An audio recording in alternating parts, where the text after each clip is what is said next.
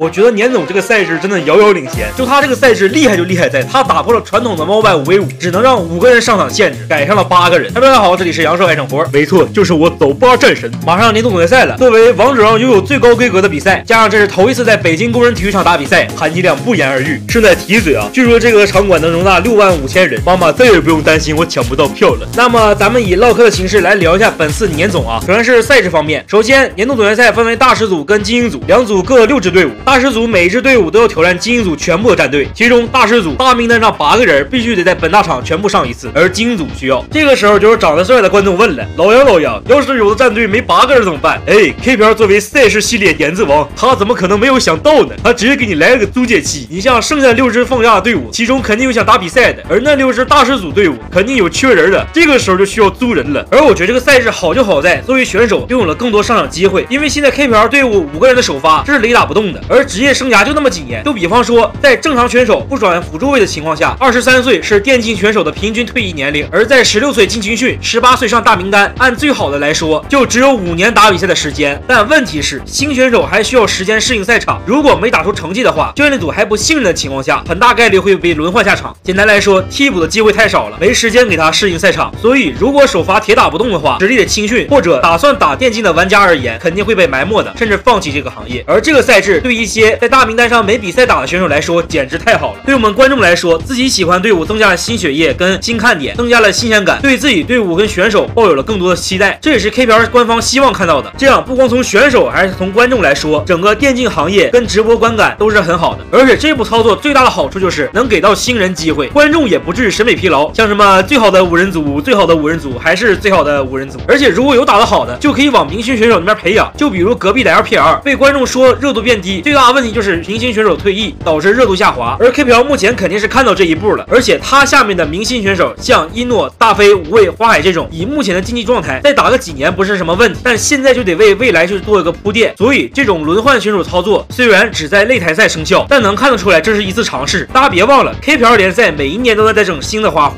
他们是不断尝试新的赛制。如果这次年总的效果不错的话，保不准明年时装到联赛里，成为王者荣耀一种特有的赛制。在这里大家可以插个锚点啊，如果我真的预言到了，麻烦回来夸我一句啊，阿里嘎多。大师组前四跟精英组第一直接进入淘汰赛，而精英组最后一名去备战二零二五赛季。然后这是突围赛，大师组第五跟第六跟精英组剩下的队伍抽签决定要对战的对手，然后进行单败的全局 BO 七，最终赢下三十个队伍，跟前面五十个队伍进入淘汰赛。而淘汰赛就跟之前的世界冠军杯 KIC 的淘汰赛一样，双败 BO 七，每个队伍都有复活甲，输了后进入败者组，最终胜者组跟败者组产出队伍将会在十一月十六日在北京工人体育场进进行总决赛，胜者将会获得 FMVP 皮肤。那么赛事聊完，我们聊一下大名单。在说租借选手之前，我聊一下对大名单的看法。我觉得其他位置没有别的选手都无所谓，但辅助位可以说是指挥位，我觉得是最至关重要的。因为职业比赛大多数都是辅助指挥，而打野或中路更多承担副指挥。但辅助指挥如果是一个人的话，给选手的压力以及在轮换选手后思路能不能及时的转变，都是考验选手的。而要是两个辅助的话，打个比方说，这把我上大帅，而 Cat 就可以在台下观察，看看看队伍的缺点和暴露的问题，在自己上场后也可以及时的跟队友说清楚，并且可以给到另外一种思路。而如果一位辅助的话，选手在打完本局下来后，到休息室再到赛场上，期间就五分钟左右，教练跟选手不一定及时沟通好，所以双辅助的队伍上限就会有一定的提高。但双辅助的队伍，比如 A G 的猫、狼的无畏、快手的晚星、大星的一征，还有 T G 的九星，这五位都很久没有上场打比赛了，即使上了也没打几把，所以选手的操作上限跟指挥思路能不能调整好是非常关键。而 R W 即使只有一个小 A，但因为一直在赛场上打，竞技状态会好很多，所以会保住自家队伍的下限。最后聊一下本次租借的选手啊，先是狼队的无畏啊，这下是真的生而无畏了。我一直觉得无畏在京东季的表现算是有目共睹了，有些时候也有些高光操作。他跟小友也称为京东季唯二的正常人，但因为京东季这个队伍教练组也不是很好，没有好好给无畏调教出来，所以无畏也很难受。妈的，老林你真是罪该万死呀！但这次去狼队，面对到 Love CD 后，肯定会给他在整体上培养起来，所以狼宝们也别觉得无畏很差。如果仔细看看无畏的比赛的话，其实他打的并不赖，只是缺一个好教练带着他。其次是 T G 苏小艺，T G 这波操作还是挺聪明的，就他明白小白和熊的野核不行，所以来了个小易平衡一下。而伊斯大租借星痕，我觉得也是干得漂亮。就大兴的粉丝，你们要是好好看比赛的话，就坦然现在这个状态的确很需要一个边路给他上一上压力。而星痕在黑肉打的也还行，上一下压力也挺好的。最后这是十月二日的年度总决赛开赛了，我也会在小布站转播啊，非常感谢大家的支持，阿里嘎多，我是是杨教授，这是我的二群，欢迎进行讨论，我们下期视频见，走路。